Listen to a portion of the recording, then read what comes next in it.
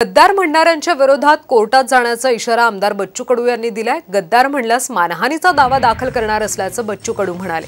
निव्वळ खोके म्हणून बदनाम करू नये असं देखील कडू म्हणाले. उद्धव ठाकरे माणूस म्हणून चांगले पण मुख्यमंत्री म्हणून ते कमी पडले. त्यामुळे हा निर्णय घ्यावा लागला असं देखील कडू म्हणाले. तर गद्दार म्हणणाऱ्यांच्या विरोधात कोर्टात जाण्याचा इशारा आमदार बच्चू कडूंनी दिला वीस जून हा जागतिक गद्दार दिन म्हणून जाहीर करा अशी मागणी संयुक्त संजय राऊत यांनी संयुक्त राष्ट्राला पत्राद्वारे केली. गद्दार बोलणाऱ्यांच्या विरोधात कोर्टात जाण्याचा इशारा आमदार बच्चू कडू यांनी दिला गद्दार म्हणल्यास मानहानीचा दावा दाखल करणार असल्याचं कडूंनी म्हटलंय.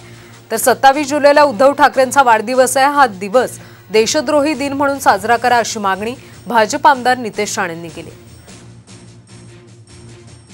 विश्व के अलग अलग हिस्से में इस प्रकार की बेईमानी शायद हो गई होगी या हो जाएगी।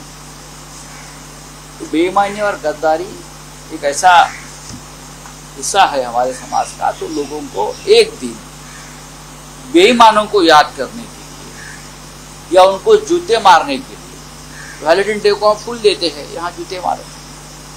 तो मैंने सेक्रेटरी जनरल यूनाइटेड नेशन और यूनाइटेड नेशन के सभी फाउंडेशन ऑर्गेनाइजेशन को बताई उन्नीस को भी लिखा है।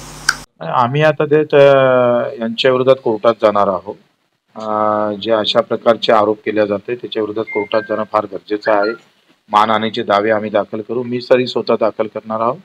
उद्धव ठाकरेच्या मुख्यमंत्रीच्या राक्षसी महत्वाकांक्षीमुळे त्यांनी देशाशी मरा महाराष्ट्राशी आणि मराठी माणसाशी